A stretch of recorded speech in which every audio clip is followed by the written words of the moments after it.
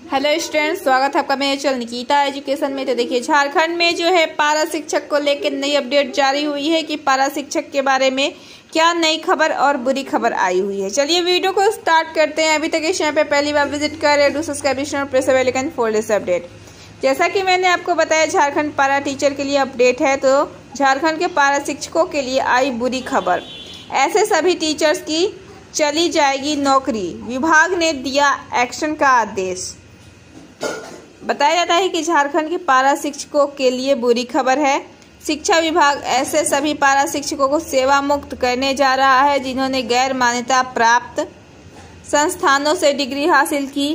शिक्षा विभाग ने हाई कोर्ट के आदेश के मुताबिक पारा शिक्षकों के प्रमाण पत्रों की जाँच करने प्रमाण पत्रों की जाँच करके नियमानुसार कार्रवाई करने का निर्देश सभी जिला शिक्षा अधीक्षकों को जारी किया है।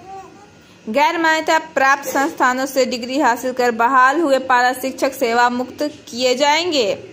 झारखंड शिक्षा परियोजना परिषद के निदेशक आदित्य रंजन ने इस, इसे लेकर सभी जिला शिक्षा अधीक्षकों को उच्च न्यायालय के आदेश के आलोक में पारा शिक्षकों के प्रमाण पत्रों की जाँच कर नियमानुसार कार्रवाई करने के निर्देश दिए गए हैं।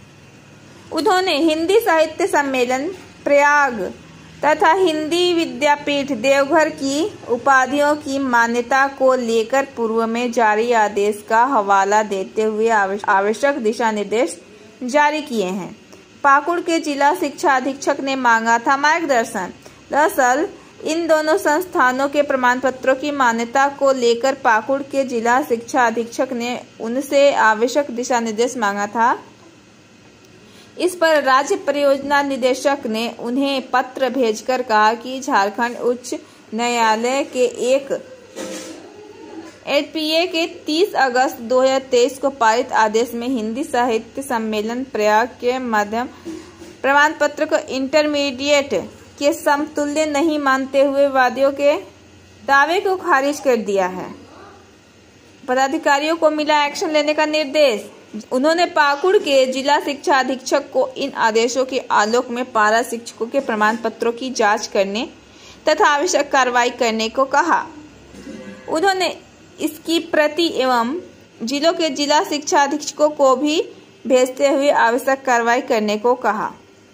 तो जैसा कि अगर आपका डॉक्यूमेंट वेरिफिकेशन में कोई गड़बड़ी हुआ हो या फिर आपने नहीं कराया हुआ हो, अगर आपका फर्जी निकलता है तो सरकार आपको जो है वहाँ से सेवा मुक्त कर सकती है।